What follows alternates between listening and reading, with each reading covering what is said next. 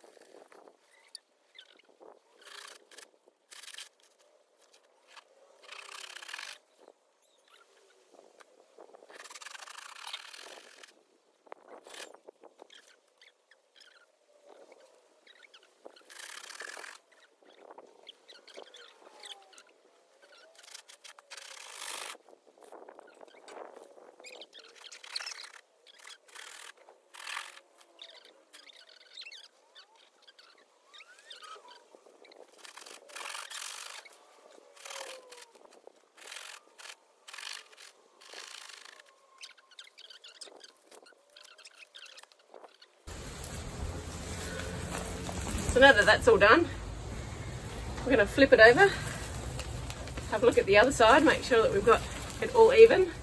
No, so we need to do a little bit more on this side. We're just um, we're just doing this to expose new roots so that we have lots of new growth for it to grow a lot bigger. Normally um, in the wild, you know, you've got um, the breaking down process. So nature and bugs and things would actually break this down and and um, it wouldn't accumulate like this in nature. Um, what are they called? Millipedes. Millipedes. Stinky, horrible things. Portuguese millipede. They're going to go in a bucket of water.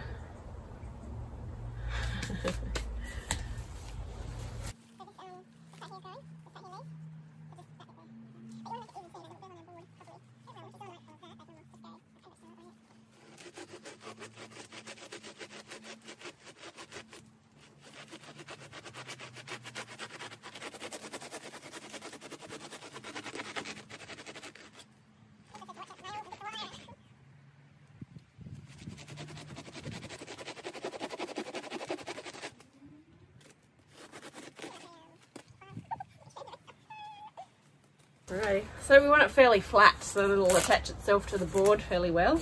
We're going to attach it with wire, so it's not a big problem, but just as much as flat as possible. So this is what it looks like.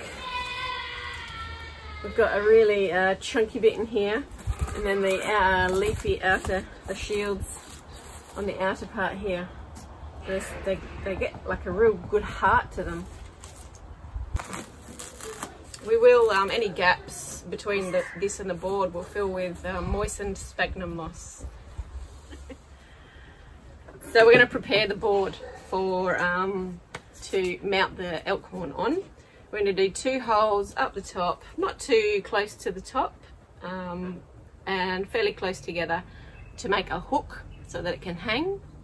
We're also going to make two holes probably halfway down the board I'm sitting in front of it, so probably halfway down the board. Two holes here where our wire is going to go through the back um, and through the elk horn uh, and tie it and we'll tie it on like that.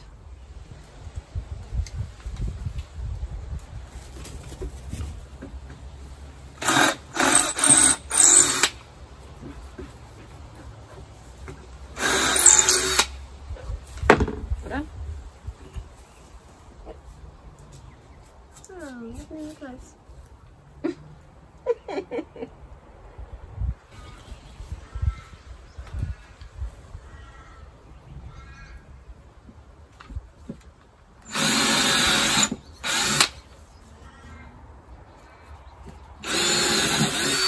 is half a millipede.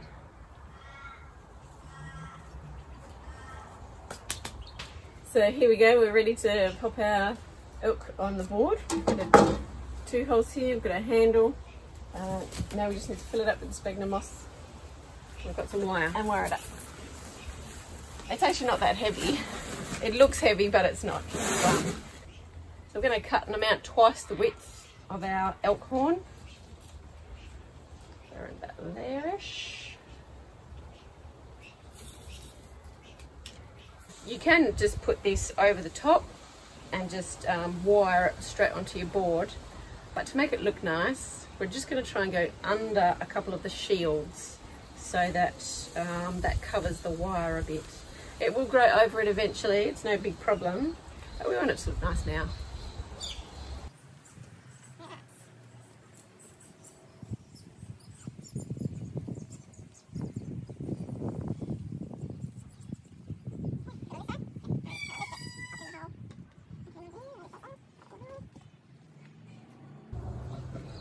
Now we're just popping the wire both sides into their little holes. Pulling it through. So we're going to pull this as hard as we can. Link, uh, what did you call it? Twitching. um, twist the two ropes, uh, bits of wire together. So as a last little bit, we're just going to pretty it up a bit and um, uh, like some bits we accidentally, oops, yeah, squished, crushed. And also we're going to get rid of the um, dead bits and affected bits from the staghorn beetle.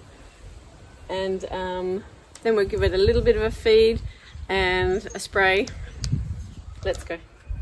Let's get rid of that little bit there. Should probably put two, shouldn't I? So not going to hurt it just by taking off a few dead leaves. So on your stag, on your elk, sorry. So on your elk, there are um, sometimes little brown bits on the backside, and that's actually um, how they reproduce. They also reproduce by clumping, uh, but these are spores and they'll mature and fly around the place and find somewhere nice and moist and warm to um, to germinate. And uh, so yeah, that's it's not it's nothing bad. It's just normal. Put that one close to them. So um, this is what I was talking about with the scale. You got little um, white dots on there, and they will actually suck the energy out of the plant and eventually kill it. So we're just going to put an oil on that. You can use any kind of horticultural oil. But today we're using um, Eco-Pest oil. It just suffocates the, the um, bug and you'll need to repeat do this because sometimes you don't always get every single little one of them. And just keep an eye on it really. So there we go. All um, sprayed and ready to go and we actually took a lot of the, the scale affected areas off because those leaves aren't going to give much energy to the plant anyway because they've got so much um, recovering to do so I've just taken those off we're just going to pop a few little pellets uh, down in each little you can put it, put it down the center there In the centre? yeah and then if you can yeah just pop it Under a shield? yeah just not not too much just a little bit Oh, and apparently, no, not apparently, you can um, put uh, banana peels in there for the potassium, uh, but that it will attract ants. So that's why we just prefer to use plant food. Organic. And organic plant food. So that's it, we're all done. It was pretty easy.